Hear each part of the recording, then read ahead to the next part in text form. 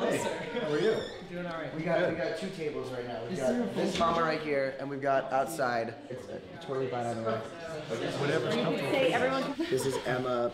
You know Emma. And people from every station are asking us, "Are you going to be there to talk to Donald Trump?" Well, first of all, we haven't been invited. Has the White House reached out? to No. you? Do you know any White House contacts? I've been calling like every number I could find, and all of them don't answer. If he hasn't spoken to you, I don't know who he's spoken to. Um, what even do we ask him?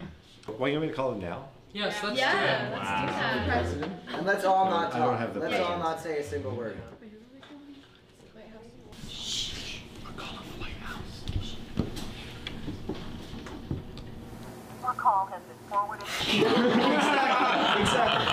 Tim, it's Ted Deutch calling. I'm sitting with uh, a group of the leaders uh, down in Parkland, uh, Marjory Stoneman Douglas students. I'm sure you've seen a lot of them on TV, uh, who had asked me to reach out because there have been all these reports about a presidential visit, and they haven't, they've not heard anything. They would like some details. They also wanted me to encourage uh, the White House to make sure that the president is aware of the invitation to the uh, town hall and the opportunity to speak directly to the students uh, in front of uh, the entire school on Wednesday night.